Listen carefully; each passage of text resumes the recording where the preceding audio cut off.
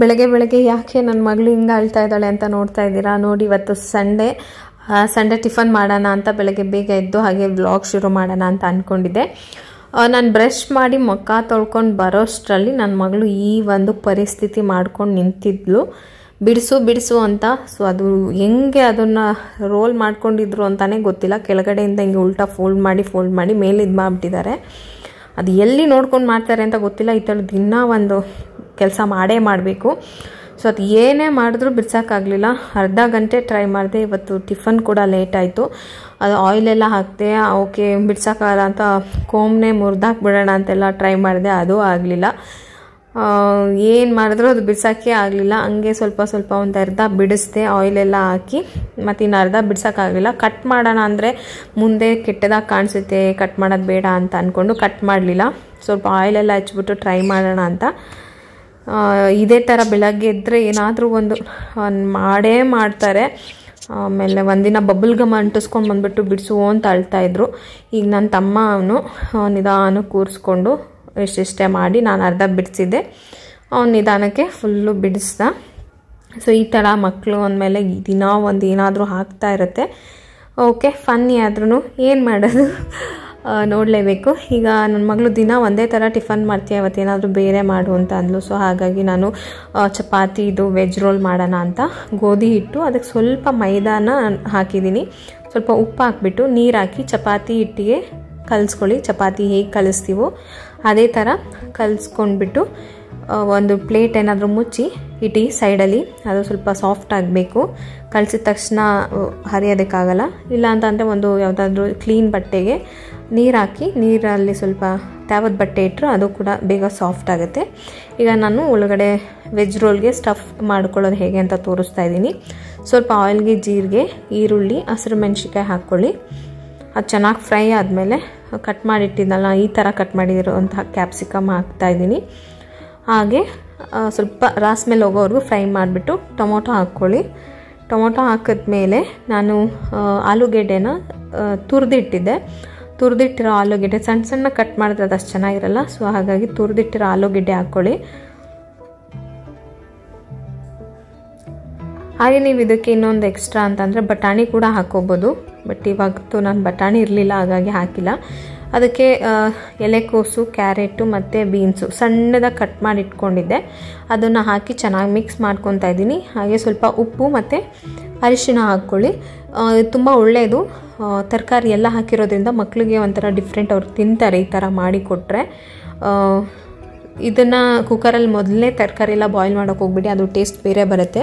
ಈ ಥರ ಬಾಣಲಿಯಲ್ಲೇ ಚೆನ್ನಾಗಿ ತರಕಾರಿನ ಬೇಯಿಸ್ಕೋಬೇಕು. ಲಿಡ್ ಕ್ಲೋಸ್ ಮಾಡಿ ಒಂದು ಐದು ನಿಮಿಷಕ್ಕೆ ನೋಡಿ ಎಲ್ಲ ಬೆಂದೋಗಿದೆ.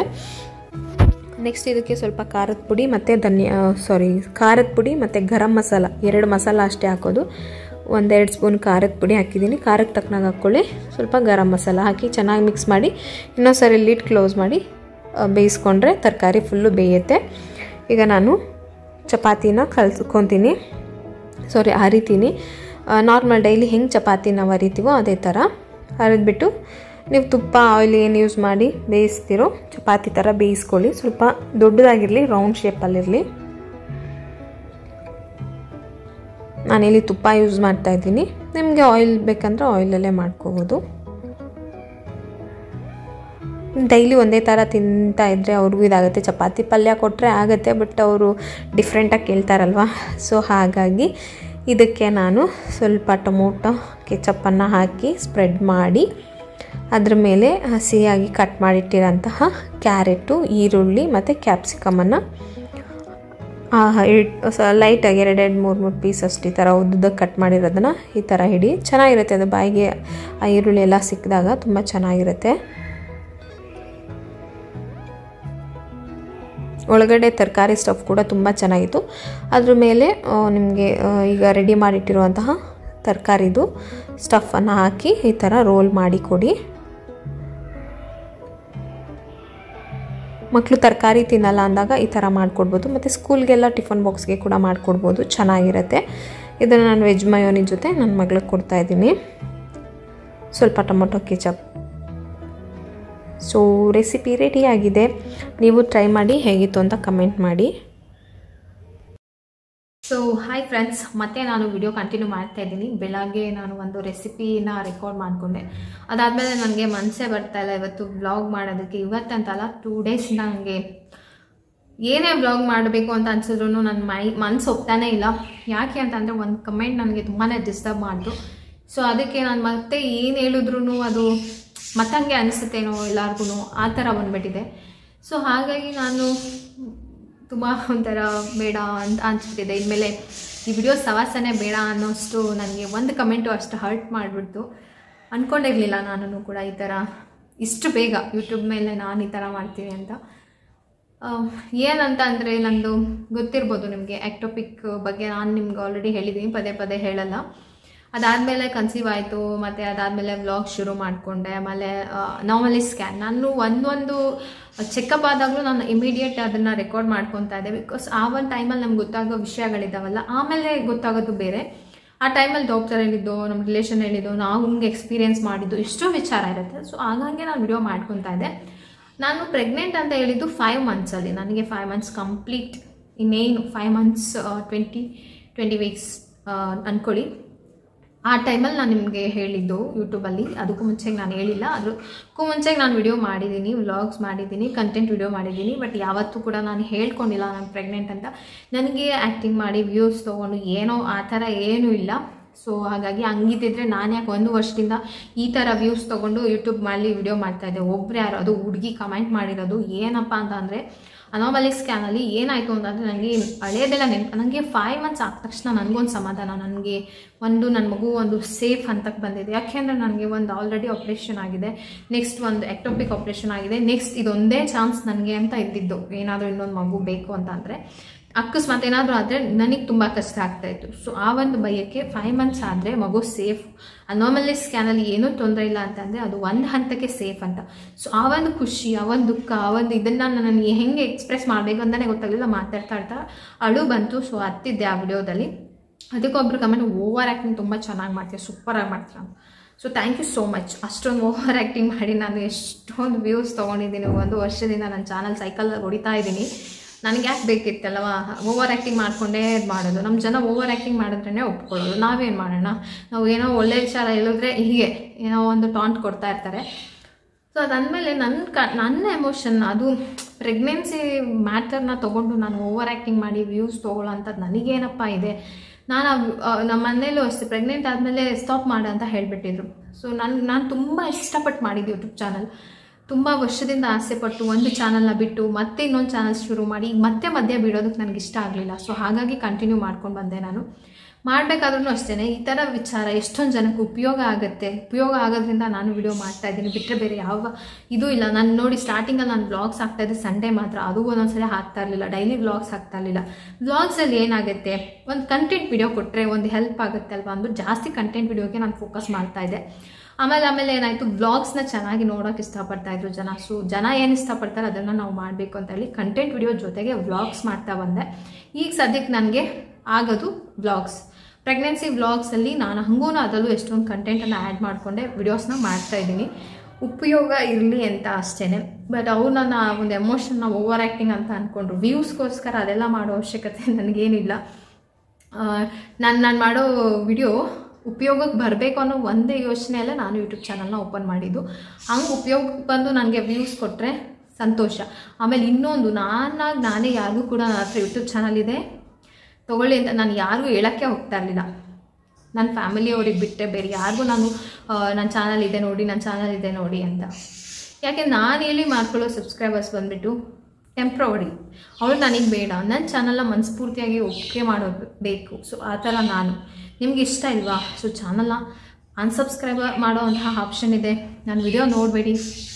ಬಟ್ ನೀವು ನಮ್ಮ ಎಮೋಷ್ನಲ್ ಜೊತೆ ಈ ಥರ ಎಲ್ಲ ಇನ್ನೂ ವರ್ಸ್ಟಾಗಿ ಒಂದು ಕಮೆಂಟ್ ಬಂದಿತ್ತು. ಅವ್ರ ಮನೇಲಿ ಹೆಣ್ಮಕ್ಳು ಇದ್ದಾರಲ್ಲೋ ಗೊತ್ತಿಲ್ಲ. ಬಟ್ ನಾನು ಅದನ್ನು ಲೆಕ್ಕಕ್ಕೆ ತೊಗೊಂಡಿಲ್ಲ. ಯಾಕೆ ಅಂದರೆ ಅದು ಯಾವುದೋ ಬೇರೆ ವಿಡಿಯೋ ಮಾಡಿದ್ದು, ಹಾಕಿದ್ರು.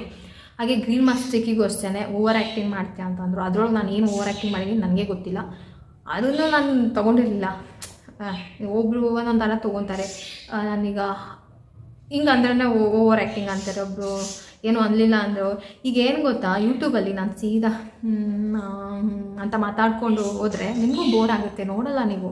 ಸೊ ಅಲ್ಲಿ ಮಧ್ಯ ಏನಾದರೂ ನಿಮ್ಮನ್ನು ಬ್ಯುಸಿ ಮಾಡೋದಕ್ಕೆ ನಾನು ಏನಾದರೂ ಮಾಡಿರ್ತೀನಿ ಅಷ್ಟೇ ಅದು ಬಿಟ್ಟರೆ ಬೇರೆ ಏನೂ ಇಲ್ಲ ಅಲ್ಲಿ ಗಿಮಿಕ್ಕು ಸೊ ಆ ಒಂದು ಅನೋಮಲಿ ಸ್ಕ್ಯಾನಲ್ಲಿ ನಾನು ಹತ್ತಿರೋದನ್ನೇ ಓವರ್ ಆ್ಯಕ್ಟಿಂಗ್ ಮಾಡಿ ವ್ಯೂಸ್ ತೊಗೊಳೋಕ್ಕೆ ಅಂತ ಕಮೆಂಟ್ ಮಾಡಿದರು ಅಮ್ಮ ಒಂದು ಹುಡುಗಿ, ಹೆಣ್ಣು ಹುಡುಗಿ ಹೆಸರೇ ಅದು. ಸೊ ಹುಡುಗನ ಹುಡುಗಿನೋ ಗೊತ್ತಿಲ್ಲ, ಹೆಸರು ಮಾತ್ರ ಹುಡುಗಿದಿತ್ತು. ನಾನು ನೆಗೆಟಿವ್ ಕಮೆಂಟ್ಸ್ನ ಇಟ್ಕೊಳ್ಳಲ್ಲ ಡಿಲೀಟ್ ಮಾಡ್ಬಿಡ್ತೀನಿ. ಸೊ ಅವ್ರಿಗೇನು ಜಾಸ್ತಿ ಹೇಳೋಕ್ಕೆ ಇಷ್ಟಪಡಲ್ಲ ಬಟ್ ನಿಜವಾಗ್ಲೂ ನಾನು ಹೇಳ್ತಾ ಇದ್ದೀನಿ ಪ್ರೆಗ್ನೆನ್ಸಿ ಅನ್ನೋದು ಅನುಭವಿಸಿರ್ತಾರಲ್ಲ, ಅವ್ರಿಗೆ ಮಾತ್ರ ಗೊತ್ತು, ಆ ಕಷ್ಟ ಏನು, ಆ ನೋವೇನು, ಅವರು ಯಾವ ಒಂದು ಸ್ಟೇಜಲ್ಲಿ ಇರ್ತಾರೆ ಅಂತ. ಬೆಳಗ್ಗೆ ಕೂಡ ಒಂದು ಕಮೆಂಟ್ ಬಂದಿತ್ತು ನನಗೆ, ಅಕ್ಕ ನನ್ನದು first pregnancy right tube remove ಆಗಿದೆ. ನೀವು ಮತ್ತೆ ಕನ್ಸೀವ್ ಆಗಿದ್ದೀರಾ? ನನಗೆ ಭಯ ಆಗ್ತಾ ಇದೆ, ಮುಂದಕ್ಕೆ ಮಗುದೇನು ಕತೆ ಅಂತ. ಸೊ ನನಗೆ ಸೆ ಆಲ್ರೆಡಿ ಒಂದು ಬೇಬಿ ಇತ್ತು. ಎಲ್ಲರೂ ಹೇಳ್ತಿದ್ರು ಮಗಳೇ ಇಲ್ಲ ಅಂದಿದ್ರೆ ಏನೋ ಚಿಂತೆ ಮಾಡಬೇಕಿತ್ತು, ಒಂದು ಮಗು ಇದೆ. ಯಾಕೆ ಅಳ್ತೀಯಾ? ಅಂತ. ಆದರೆ ಆ ನೋವಿದೆಯಲ್ಲ? ಅದು ಹೇಳೋಕ್ಕಾಗಲ್ಲ. ನೋವಿಲ್ದಲೇ ಹೋಗಿದೆ ಅಂದರೆ ಒಂಥರ. ನನಗೆ ಅನಸ್ತೆಷ್ಯ ಕೊಟ್ಟು ಆಪ್ರೇಷನ್ ಮಾಡಿ ನನಗೆ ಆ ಪವರ್ ಕಮ್ಮಿಯಾಗಿ ಎಚ್ಚರ ಆಯ್ತಲ್ಲ? ಆ ನೋವು ನಾನು ಈಗಲೂ ನೆನೆಸ್ಕೊಂಡ್ರೆ ಅಳು ಬರುತ್ತೆ ನನಗೆ. ಅಂಥ ನೋವಿತ್ತು. ಏನು ತಪ್ಪಿಗೆ ನನಗೆ? ಅಲ್ವಾ? ಸೊ ಆ ಒಂದು ಇದನ್ನು ನಾನು ಶೇರ್ ಮಾಡಿಕೊಂಡೆ ಅಷ್ಟೇ ಆಮೇಲೆ ಇಷ್ಟೊಂದು ಜನಕ್ಕೆ ಒಂದು ಆದಮೇಲೆ ಯಾಕೆ ಚಾನ್ಸ್ ಕಮ್ಮಿ. ನನಗಾಗುತ್ತಾ ನೆಕ್ಸ್ಟು ಆ ಥರ ಎಲ್ಲ ಯೋಚನೆ ಮಾಡ್ತಾರೆ. ಆಗುತ್ತೆ. ನನಗಾಗಿದೆಯಲ್ಲ? ಆ ಥರ ನಾನು ಹೇಳಿದ್ದೀನಿ ಅಷ್ಟೇ ಬಿಟ್ಟರೆ ಅದರಲ್ಲಿ ಆ್ಯಕ್ಟಿಂಗ್ ಮಾಡಿಕೊಂಡು ವ್ಯೂಸ್ ಕಿತ್ಕೊಳ್ಳೋಕ್ಕೆ ಆ- ವಿಡಿಯೋ ನೋಡಿ ಅನಾಮಲಿಸ್ಗೆ ನಾನ್ನೂರು ವ್ಯೂಸ್ ಬಂದಿರ್ಬೋದು. ಅದರಲ್ಲಿ ಏನಪ್ಪ ಆ್ಯಕ್ಟಿಂಗ್ ಮಾಡಿ ನಾನು ವ್ಯೂಸ್ ತೊಗೊಂಡಿದ್ದೀನಿ? ಓಕೆ ಅದಕ್ಕೆ ಇದೇ ವಿಚಾರಕ್ಕೆ ನನಗೆ ವ್ಲಾಗ್ಸ್ ಮಾಡೋಕ್ಕೆ ಇಷ್ಟ ಆಗ್ತಾಯಿಲ್ಲ ಇದೆಲ್ಲ ಈಗ ನಮ್ಮ ಮನೆಯವ್ರಿಗೆಲ್ಲ ಹೇಳಕ್ಕೆ ಹೋದರೆ ಇದೆಲ್ಲ ಟೆನ್ಷನ್ ಮಾಡ್ಕೊಳಂಗಿದ್ರೆ ನೀನು ಬಿಟ್ಬಿಡು ಅಂತಾರೆ.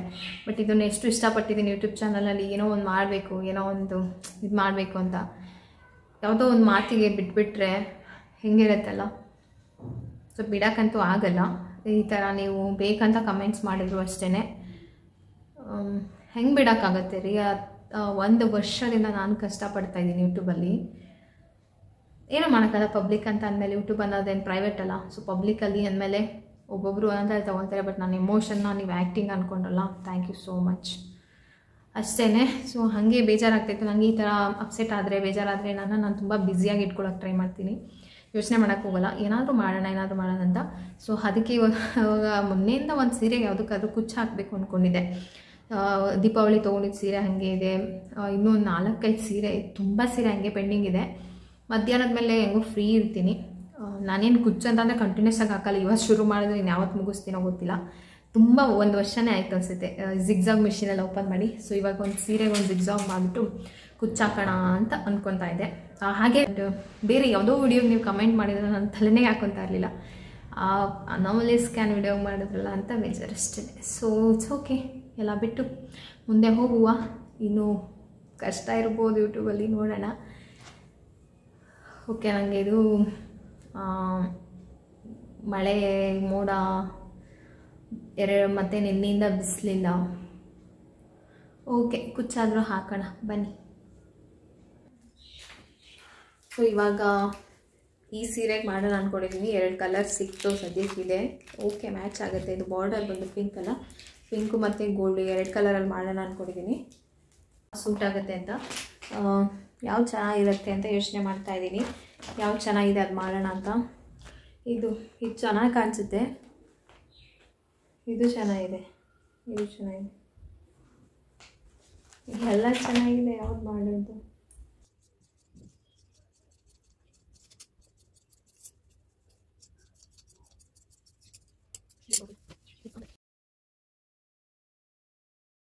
ಕುಚ್ಚಾಕೋಕ್ಕೂ ಮುಂಚೆಗೆ ಅದು ಜಿಗ್ಜಾಗ್ ಮಾಡಬೇಕು. ಸೊ ಈ ಮಿಷಿನ್ ತೆಗೆದೆ ನಾನು ತುಂಬ ದಿನ ಆಯಿತು.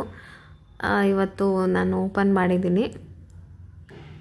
ನನಗೆ ಸರ್ಜರಿ ಆದಾಗಿಂದ ಮಿಷಿನ್ ಮೇಲೆ ಕೂತ್ಕೋಬೇಡ ಅಂತ ಹೇಳಿದರು ಅಂತ ಏನೂ ಮಾಡಿರಲಿಲ್ಲ. ಬಟ್ ಮಿಷಿನ್ ತುಂಬ ಒಳ್ಳೆ ಕಂಡೀಷನಲ್ಲಿದೆ ಹೊಸ ಮಿಷಿನ್ ಇದು. ನಮ್ಮ ಕ್ಯಾಂಟೀನಲ್ಲಿ ತೊಗೊಂಡಿದ್ದು. ಇದರಲ್ಲಿ ಜಿಗ್ಜಾಗ್ ಮಾಡ್ಬೋದು ಸ್ಟಿಚ್ ಹಾಕ್ಬೋದು. ಕೆಲವೊಂದಿಷ್ಟು ಡಿಫ್ರೆಂಟ್ ಸ್ಟಿಚಸ್ ಎಲ್ಲ ಇದೆ. ಚೆನ್ನಾಗಿದೆ. ಫಸ್ಟ್ ಇದು ಹಾಕ್ಬಿಟ್ಟು ಆಮೇಲೆ ಕುಚ್ಚಿಗೆ ರೆಡಿ ಮಾಡ್ಕೊಳ್ಳೋದು. ಸೊ, ಆಯಿತು, ಇದು ಥ್ರೆಡ್ಡಲ್ಲಿ ಮಾಡಿದ್ದೀನಿ. ಬೇಕಂದರೆ ವಯರ್ ಕೂಡ ಯೂಸ್ ಮಾಡ್ಬೋದು. ಈ ಥರ ವಯರಲ್ಲೂ ಕೂಡ ಹಾಕ್ಬೋದು. ಬಟ್ ಎರಡು ಸೈಡ್ ವಯರ್ ಹಾಕಿದ್ರೆ ಏನಾಗುತ್ತೆ ಅಂದರೆ ಇದು ಎಕ್ಸ್ಪ್ಯಾಂಡ್ ಆಗುತ್ತೆ. ಸೊ ಬಟ್ಟೆ ಒಂಥರ ಇಸ್ಕೊಂಡಂಗೆ ಇರುತ್ತೆ. ಅದಕ್ಕೆ ನಾನು ಥ್ರೆಡ್ಡಲ್ಲೇ ಮಾಡ್ತೀನಿ. ಥ್ರೆಡ್ಡೇ ಚೆನ್ನಾಗಿರುತ್ತೆ. ಆ್ಯಕ್ಚುಲಿ ತುಂಬ ದಿನ ಆದಮೇಲೆ ಮಿಷಿನ್ ಓಪನ್ ಮಾಡಿರೋದು ವರ್ಷನೇ ಆಯಿತು ಅಂದ್ಕೊಳ್ಳಿ ವರ್ಷ ಆಯಿತು. ಮಿಷಿನ್ ತೆಗ್ದೇ ಇಲ್ಲ. ಏನಿಲ್ಲ, ಚೆನ್ನಾಗಿದೆ, ಸ್ವಲ್ಪ ಡಸ್ಟ್ ಆಗಿದೆ ಅಷ್ಟೇ. ಈಗ ಒಂದು ಸೈಡ್ ಅಷ್ಟೇ ಮಾಡ್ಕೊಂಡಿದ್ದೀನಿ. ನೆಕ್ಸ್ಟ್ ಟೈಮ್ ಮಾಡ್ಕೊತೀನಿ ಇನ್ನೊಂದು ಸೈಡು ನೋಡ್ಬೋದು ನೀವು. ಎಷ್ಟು ಪರ್ಫೆಕ್ಟಾಗಿ ಆಗಿದೆ ಅಂತ. ಇದರಲ್ಲಿ ನೀಡಲ್ ಇದು ಏನು ಪ್ಲೇಟ್ ಚೇಂಜ್ ಮಾಡಿಕೊಂಡು ನೀವು ರಿಸರ್ವ್ ಮಾಡ್ಬೋದು ಸ್ಟಿಚ್ ಮಾಡ್ಬೋದು. ಸೊ ಈ ರೀತಿ ಮಾಡ್ಕೋಬೋದು. ನನ್ನ ಥ್ರೆಡ್ ಬಾಕ್ಸ್ ನೋಡ್ಬೋದು, ಏನು ಕತೆ ಆಗಿದೆ ಅಂತ. ಯಾವುದನ್ನು ನಾನು ಜೋಡ್ಸೋಕ್ಕೆ ಹೋಗಿಲ್ಲ. ಎಲ್ಲ ಬಿಟ್ಟೇ ಬಿಟ್ಟಿದ್ದೀನಿ ನಂದು ಮಾರ್ಕರ್, ಬೊಬಿನ್. ಥ್ರೆಡ್ಗಳೆಲ್ಲ ಜೋಡಿಸೇ ಇಲ್ಲ.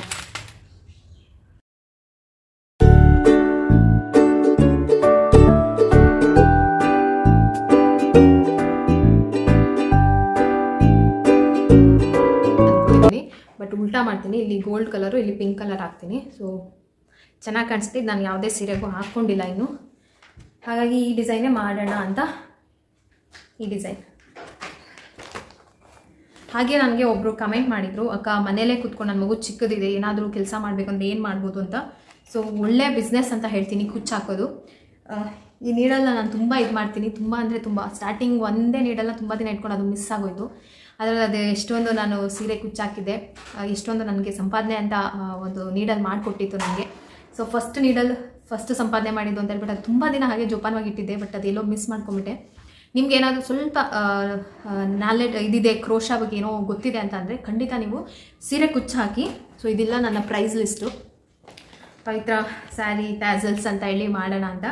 ತುಂಬ ಸೀರೆ ಬರ್ತಾಯಿತ್ತು ನಾನು ಅಷ್ಟು ಪರ್ಫೆಕ್ಟಾಗಿ ಆಗ್ತಾ ಇದೆ ಕ್ರೋಶನ ಹಾಗೆ ಕ್ಲಾಸಸ್ ಕೂಡ ಮಾಡಿದ್ದೀನಿ ನಾನು. ಒಬ್ರಿಗೆ ಇಷ್ಟು ಫೀಸ್ ಅಂತ ತೊಗೊಂಡು. ಸೊ ಆ ಥರ ನೀವೇನಾದರೂ ಮನೇಲೇ ಮಾಡೋಕ್ಕೆ ಸಾಧ್ಯ ಅಂತಂದರೆ ಇದು ಹೆಣ್ಮಕ್ಳು ಖಂಡಿತ ಮನೇಲಿ ಮಾಡ್ಬೋದು. ಇದು ಮನೇಲೇ ಮಾಡೋದು ಶಾಪಲ್ಲಿ ಯಾರೂ ಮಾಡಿಸಲ್ಲ. ಮನೆ ಕೊಟ್ಟು ಮಾಡಿಸ್ತಾರೆ. ನಿಮಗೆ ಪರಿಚಯ ಇರೋರಿಗೆ ಹೇಳಿ ಅಥವಾ ಈ ಥರ ಫೈಲ್ ಎಲ್ಲ ಮಾಡ್ಕೊಂಡು ಇದ್ರಲ್ಲಿ ನಾನು ತುಂಬ ಡಿಸೈನ್ಸ್ ಇದ್ದಾವೆ ಇನ್ನೂ ಎಷ್ಟೊಂದು ಡಿಸೈನ್ ಹಾಕಿಲ್ಲ ನಾನು. ಕೆಲವೊಂದು ಡಿಸೈನ್ ನಾನು ಕ್ಲಾಸ್ಗೆ ಅಂತ ಮಾಡಿಟ್ಕೊಂಡಿದ್ದೆ. ಕ್ಲಾಸಲ್ಲಿರೋ ಅವ್ರಿಗೆ ಹೇಳ್ಕೊಡೋಕ್ಕೆ ಅಂತ ಹೇಳ್ಬಿಟ್ಟು. ಸೊ ಇದಿಷ್ಟಿದೆ. ಇನ್ನೂ ತುಂಬ ಡಿಸೈನ್ಸ್ ಇದೆ. ನೀವು ಕಲಿತು ಇಂಟ್ರೆಸ್ಟ್ ಇದೆ ಅಂದರೆ ಯೂಟ್ಯೂಬಲ್ಲಿ ತುಂಬ ಚಾನಲಲ್ಲಿ ಹೇಳ್ಕೊಡ್ತಾರೆ ಕ್ರೋಶ ಹೆಂಗೆ ಮಾಡೋದು ಅಂತ. ಹಾಗೆ ನಾನು ಬೇಸಿಕ್ ಚೈನ್ ಸ್ಟಿಚ್ಚು ವಿಡಿಯೋ ಎಲ್ಲ ಮಾಡಿದ್ದೀನಿ. ನಿಮಗೆ ಇಂಟ್ರೆಸ್ಟ್ ಇದೆ, ನಾನು ಮನೇಲಿ ಏನೋ ಮಾಡ್ಬೋದು ಅನ್ನೋದಿದ್ರೆ ಖಂಡಿತ ನೀವು ಕುಚ್ಚ ಹಾಕ್ಬೋದು ನೋಡಿ. ಕೇಳಿದ್ರು ಬಟ್ ನನಗೆ ಅಷ್ಟು ಐಡಿಯಾಸ್ ಇಲ್ಲ. ಮನೇಲಿ ಕುತ್ಕೊಂಡು ಏನೆಲ್ಲ ಬಿಸ್ನೆಸ್ ಮಾಡ್ಬೋದು ಹೆಣ್ಮಕ್ಳು ಅಂತ ನಾನು ಇದನ್ನು ಮಾಡಿದ್ದೆ. ಒಂದು ಒಳ್ಳೆ ಬಿಸ್ನೆಸ್ ಅಂತ ಹೇಳ್ಬೋದು. ಮನೇಲಿ ಮಾಡೋದು ಹೆಣ್ಮಕ್ಳಿಗೆ. ಸೊ ನಾನು ಇವಾಗ ಡಿಸೈನ್ ನಾನು ಅಂದ್ಕೊಂಡಿದ್ದೀನಿ ಥ್ರೆಡ್ ಕೂಡ ರೆಡಿ ಮಾಡಿದ್ದೆ. ಹೇಗೆ ರೋಲ್ ಮಾಡೋದು ಅನ್ನೋ ವಿಡಿಯೋ ಕೂಡ ಮಾಡಿದ್ದೀನಿ ನೀವು ನೋಡಿಲ್ಲ ಅಂದರೆ ನೋಡಿ. ಕೆಲವೊಂದು ಡಿಸೈನ್ ಕೂಡ ಅಪ್ಲೋಡ್ ಮಾಡಿದ್ದೀನಿ ಈಗ ನಾನು ತುಂಬ ಹೊತ್ತು ಕೂತು ಮಾಡೋಕ್ಕಲ್ಲ ಬಟ್ ಬ್ಯಾಕ್ ಸಪೋರ್ಟ್ ಇರೋದ್ರಿಂದ ಕ್ರೋಶ ಮಾಡ್ಬೋದು. ಕುಚ್ಚು ಹಾಕೋದು ಸ್ವಲ್ಪ ಕಷ್ಟ ಇರ್ಬೋದು ಬಟ್ ಕ್ರೋಶ ಆರಾಮಾಗಿ ಮಾಡ್ಬೋದು. ಲಾಸ್ಟಲ್ಲಿ ಅಲ್ಲೊಂದು ಅಲ್ಲೊಂದು ಕುಚ್ಚು ಹಾಕ್ಕೊಳ್ಳೋದು ಅದಕ್ಕೆ ಆ ಡಿಸೈನ್ ಸೆಲೆಕ್ಟ್ ಮಾಡಿದ್ದೀನಿ. ಸೊ ಸೀರೆಗೆ ಇದು ಜಿಗ್ಜಾಗ್ ಕೂಡ ಮಾಡಿದೆ. ಉಲ್ಟಾ ಸೀದಾ ನೋಡ್ಕೊಂಡು ಡಿಸೈನ್ ಹಾಕಬೇಕು. ಆಮೇಲೆ ಸೀದಾ ಉಲ್ಟಾ ಬರುತ್ತೆ. ಒಂದು ವರ್ಷ ಆಗಿದೆ ನಾನು. ಒಂದು ವರ್ಷದ ಮೇಲೆ ಆಯಿತು. ಒಂದೂವರೆ ವರ್ಷ ಆಯಿತು ನಾನು ಕ್ರೋಶ, ಈ ಥ್ರೆಡ್ ಅಂತೆಲ್ಲ ಮುಟ್ಟಿ. ಏನು ಮಾಡಿದೆ ಮರ್ತೋಗಿರಲ್ಲ ನಮಗೆ ನಾನು ತುಂಬ ಪರ್ಫೆಕ್ಟ್ ಇದ್ದೀನಿ. ನಂಗೆ ನೆನಪಿದೆ. ಸೊ ಫುಲ್ ಡಿಸೈನ್ ಆದಮೇಲೆ ನಾನು ನಿಮಗೆ ತೋರಿಸ್ತೀನಿ ಯಾವ ಥರ ಇದೆ ಅಂತ. ಮೇ ಬಿ ಇವತ್ತು ಆಗಲ್ಲ ಅನ್ಕೊತೀನಿ. ಬೇಸ್ ಒಂದು ಬೇಸ್ ಫಿನಿಶ್ ಮಾಡ್ಕೊತೀನಿ. ನಾಳೆ ಮಣಿದೆಲ್ಲ ಹಾಕ್ಕೊಂಡು ಇನ್ನೊಂದಿನ ದಿನ ಯಾವಾಗಾದ್ರೂ ಕುಚ್ಚು ಫಿನಿಶ್ ಮಾಡಿಕೊಂಡು. ಸೊ ಇದಕ್ಕೆ ಬೇಕಂದರೆ ಇಲ್ಲಿ ಬ್ಲೂ ಕಲರು ಗ್ರೀನ್ ಎಲ್ಲ ಇದೆ, ಅದೆಲ್ಲ ಯೂಸ್ ಮಾಡ್ಕೋಬೋದಿತ್ತು. ಬಟ್ ನನಗೆ ಬೇಡ. ಪಿಂಕ್ ಆ್ಯಂಡ್ ಈ ಕಲರ್ ಗೋಲ್ಡ್ ಕಲರ್ ಆ್ಯಕ್ಚುಲಿ ಇದು ಇಲ್ಲ ನನ್ನ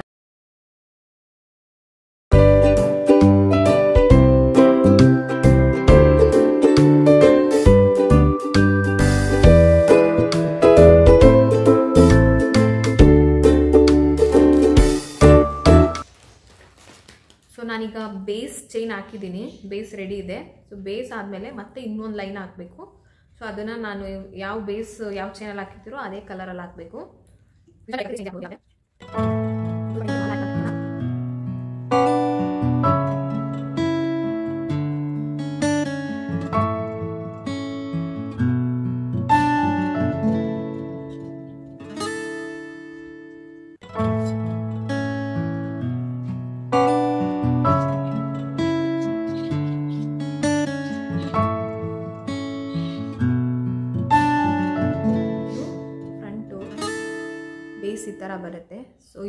ಲೇಟ್ ಆಗೋದು. ಇಲ್ಲಿ ಹದಿನಾಲ್ಕು ಡಬಲ್ ಆರ್ಚ್ ಬರುತ್ತೆ.